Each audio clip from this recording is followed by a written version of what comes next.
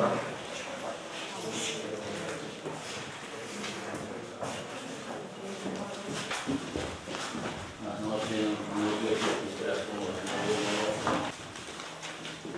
e schiță, listă schiță, acolo problemă. 383. 383. Aici.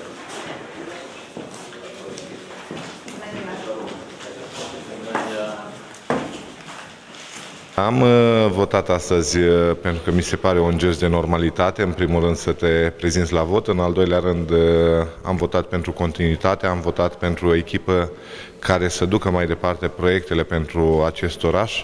Sunt convins că la sfârșitul uh, acestei zile vom uh, avea o echipă care e capabilă, care știe și care poate să dezvolte în continuare orașul, drept pentru care invit toți romașcanii să-și exercite dreptul constituțional la vot, să se prezinte la vot în primul rând și sigur uh, cel mai bun la sfârșitul acestei zile și după această campanie să câștige.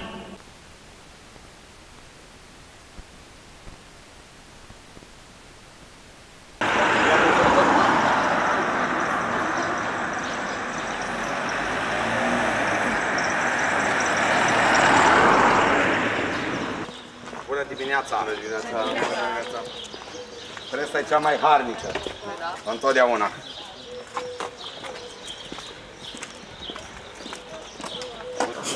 Bună dimineața!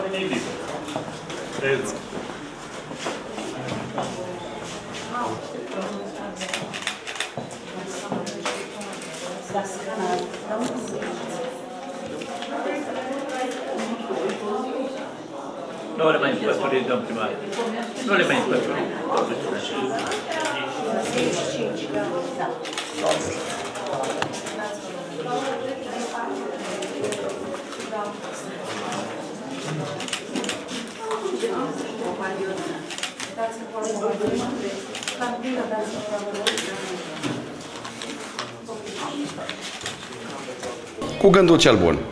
Am votat cu gândul pentru continuitate, pentru a dezvolta proiectele pe care le avem în curs, pentru a veni cu altele noi, pentru o echipă pe care o consider cea mai bună pentru municipiul Roman, pentru ceea ce înseamnă determinare, pentru ceea ce înseamnă finalizarea unei campanii curate, bazate pe proiecte, pe respectarea întotdeauna a adversarului și pe faptul că la tot felul de lucruri, mai mult sau mai puțin corecte, mai mult sau mai puțin principiale, noi am răspuns civilizat, bazându-ne pe argumente, așa cum vă spuneam, pe programe și proiecte pentru municipiul Roman.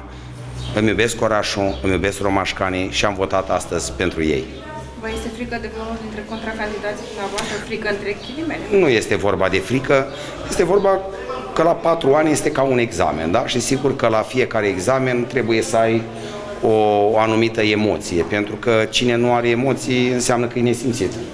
Deci emoția vine din interior, o trăiești, dar este o emoție constructivă, este o emoție pozitivă. Eu am spus-o la începutul campaniei, cel mai puternic adversar al meu sunt eu însumi pentru că eu trebuie să-i conving pe romașcani și în această perioadă și în acești ani pe care am avut, prin ceea ce am făcut, prin ceea ce mi-am propus.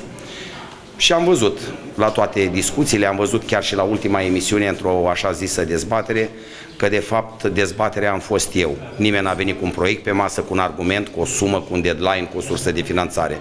Dezbaterea tuturor celorlalți am fost eu. Dezbaterea mea a fost romașcanii și romanul. Pentru ei votez ca să continuăm și să mergem mai departe. Nu au fost semnalate incidente până la această... Până la această oră nu. Avem peste tot oameni, avem peste tot observatori, vrem să decurgă în liniște, eu le-am spus și ieri la instruire, nu avem nevoie de niciun vot care nu este al nostru și care să fie pe, în mod nedrept luat. Dar la fel nu vrem niciun vot al nostru care în mod corect și drept romașcanii ne dau să fie luat de altcineva.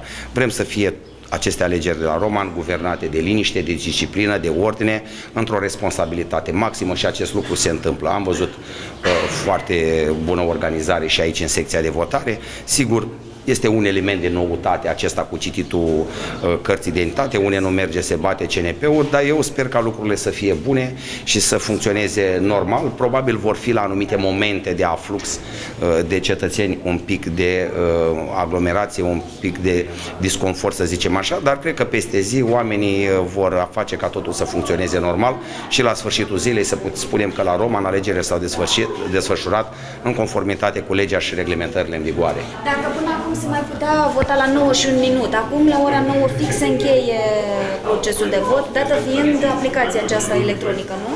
Da, așa este, dar eu știam că totuși cine e prins în secția de votare încheie votarea. Eu așa am înțeles.